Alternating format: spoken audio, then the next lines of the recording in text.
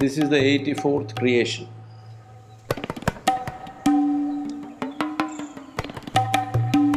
The memory of these eighty-four creations are still there in your body.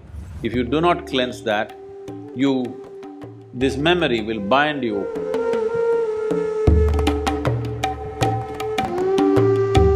Based on this eighty-four asanas, one asana is all that's needed. You just have to master that.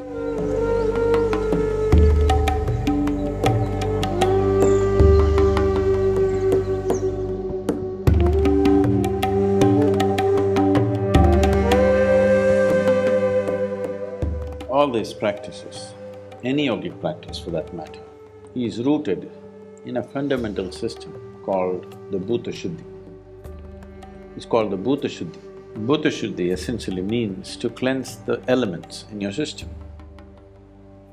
There are five elements, but there are only four which need to be cleansed. The fifth one, you know what the elements are?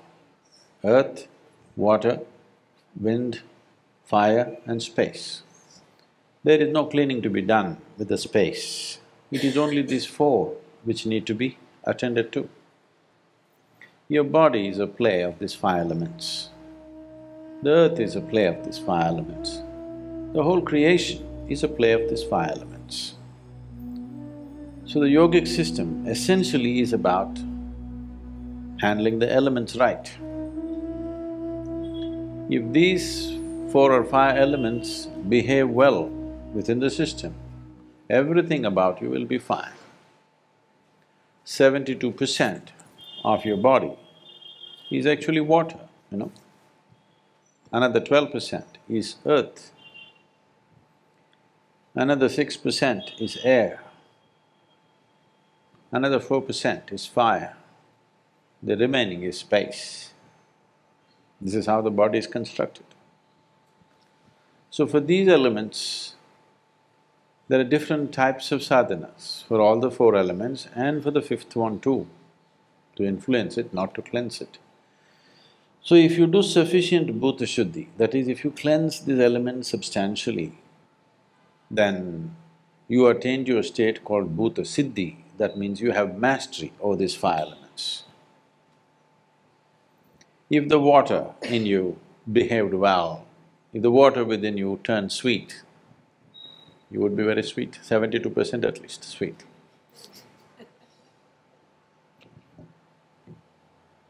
If you work with earth, another twelve percent turns sweet, eighty-four percent. If you do the air, which is very easy to do, six percent, ninety percent. The fire, you're living in society, you're also married, you need little fire. You need to burn somebody a little bit. So four percent fire, we'll leave it. The remaining six percent is space. Only when you want to do bhuta siddhi, it becomes relevant. For bhuta shuddhi, it is not relevant. Eighty-four is a significant number in the way the creation is right now. Now, if, uh, you don't have to believe this, but this is our inner experience.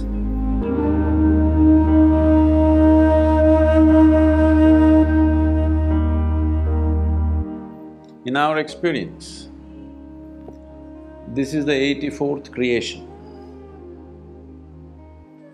Eighty-three times it's happened and demolished itself. This is the eighty-fourth time. It will happen for one hundred and twelve times. And the final one that happens will not be physical in nature. So it is based on this that you have 112 chakras and 84 are the most important. And there are 84 asanas in yoga. The basic asanas are 84 in number because when you want to do bhuta shuddhi, you want to cleanse the elements. What are you cleansing it of is the previous memory. If you look deep into this system, you will see the memory of everything, the way this existence happened is right here. If it was not here, certain things could not have been said in the past before all this modern science is talking about these things. For example, have you heard, heard of Paul Steinhardt? Paul Steinhardt wrote a book which became very famous in the last three years or so. This book is called as the Endless Universe. Till recently, modern science believed that universe began somewhere and it ends somewhere. For the first time, they're putting out a theory saying it's endless. Always in the yogic system, we've been saying, the cosmos is ever expanding. Have you seen the symbol, the saligram symbol? That is the symbol of an ever expanding cosmos. So, he went through this and I, you know, I've been in conversation with him for some time for last few years and uh, he had he was presenting a computer simulated images of how the Big Bang happened. And I asked him, he said there's more than one bang. Many things have been said in the yogic system as to how this is the eighty-fourth. There are many, many symbols or there are many, many uh, aspects in the body which clearly say that the memory of these eighty-four creations are still there in your body. It is there in every atom in the existence. So what you're trying to cleanse is, you want to cleanse it from the memory because this memory binds you. This memory gives you a sense of belonging, at the same time this memory binds you, it doesn't let you go. Say whether you like it or you don't like it. Your great-grandfather who died long time ago is right now living through you in some way, at least in the shape of your nose, the way you think, the way you sit, the way you stand, isn't he? Yes or no? You might have thought you buried him, but he's popped up inside of you and living. If you look deep enough, the memory goes way back. If you want to evolve, you have to cleanse yourself of the memory which is imprinted on the elements in your system. If the elements do not lose their memory, they will not behave the way you want, they will keep on repeating the old cycles. You may think your forefathers are dead, no, those guys are living through you. You know, Jesus said, leave the dead to the dead. This is the reason, when somebody takes sannyas, the first thing that we do is, they do karmas to their own… their parents who are still living. The intention is not that they should die. The intention is you want to cleanse your memory.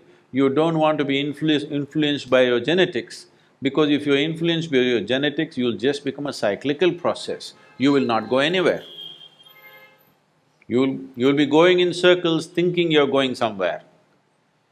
So one level is on the chemistry, the genetics, another level, the deeper level is on the elemental level. We want to cleanse that. If you do not cleanse that, you… this memory will bind you, the memory will make you go in circles. Based on this eighty-four asanas, eighty-four creations, all these things are connected, you don't have to go by that.